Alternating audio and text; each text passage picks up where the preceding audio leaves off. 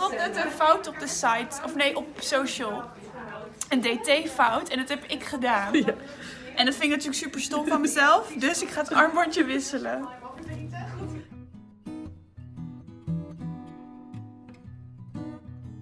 Ik ben Floortje Stil, ik ben redacteur social bij Psychologie Magazine en ik ga werken aan mijn zelfcompassie.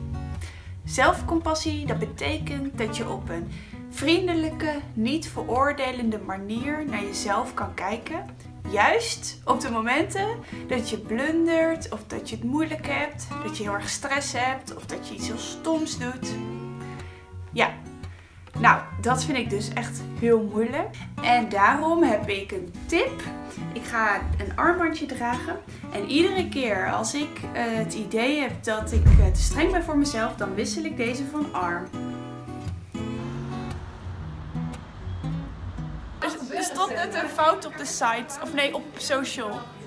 Een DT-fout en dat heb ik gedaan. En dat vind ik natuurlijk super stom van mezelf, dus ik ga het armbandje wisselen.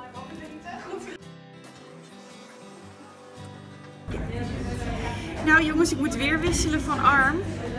Want we hadden net overleg over een webinar en daarvoor moet, ik, uh, moet er de vragen vanuit het Engels beantwoord worden voor op onze site. Maar ik ben niet zo goed in Engels, dus ik heb het aan iemand anders uh, overgelaten om dat te doen. En uh, ja, daar voel ik me nou wel een beetje stom over, want waarom ben ik nou niet zo goed in Engels?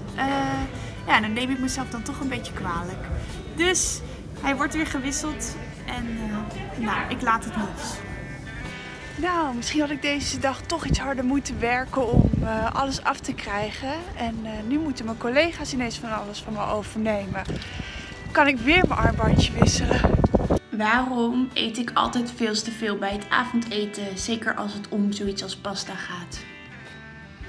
Hebben jullie ook wel eens dat je echt boos bent op jezelf? Laat even weten in de comments. Ik uh, ben wel benieuwd of ik de enige ben met dit soort dingen. Als jullie denken, ziet ze er raar uit? Dat klopt. Ik heb een uh, honingmasker op.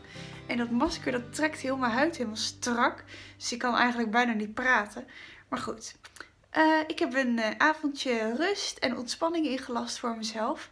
Omdat als je zelf compassie hebt, dan ben, ben, je ook lief voor jezelf. En dat is ook mijn tip voor jullie. Plan een avondje ontspanning in en wees lief voor jezelf.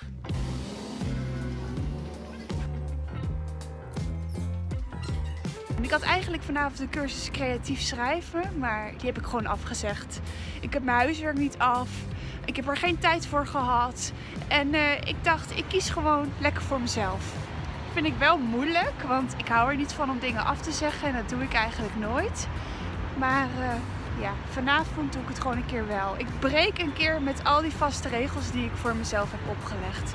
Ook een tip voor jullie trouwens. Tip 3. Bedenk in een situatie waarin je streng bent voor jezelf wat een goede vriend of vriendin tegen jou zou zeggen op dat moment. Want vaak is het zo dat als uh, ons uh, iets overkomt en we worden een beetje boos op onszelf, dan uh, zijn we heel streng. Maar als een goede vriend of vriendin zoiets zou overkomen, dan zouden we juist heel mild reageren. Dan hebben we wel compassie voor die ander, maar niet voor onszelf. Yo! Yo! Uh, maar ik denk dat je echt wel tevreden mag zijn met alles wat je doet. Ik bedoel, iedereen maakt fouten. Ja. En je collega's maken fouten. En je leidinggever maakt fouten. Alleen zie je het misschien niet. Ja, dat. En ben je heel erg bewust van je eigen fouten. Maar volgens mij, alles wat jij doet, doe je echt wel heel erg goed in de tijd die je hebt. Dus volgens mij mag je echt wel trots zijn op jezelf. Oké, okay. ik ga het proberen. Komt vast goed. Zo, dat was best wel lastig. Ik denk uh, dat ik nog veel vaker streng ben voor mezelf, maar dat ik dat niet eens echt door heb. Want ook uh, die keren dat ik gevlogd heb voor deze video, hebben steeds anderen mij gewezen op wanneer ik dan zo streng ben voor mezelf. Ik uh, hoop toch dat ik dat inzicht veel vaker zelf mag gaan krijgen en dat ik er dan iets aan kan gaan doen. hoe is het eigenlijk bij jullie gegaan?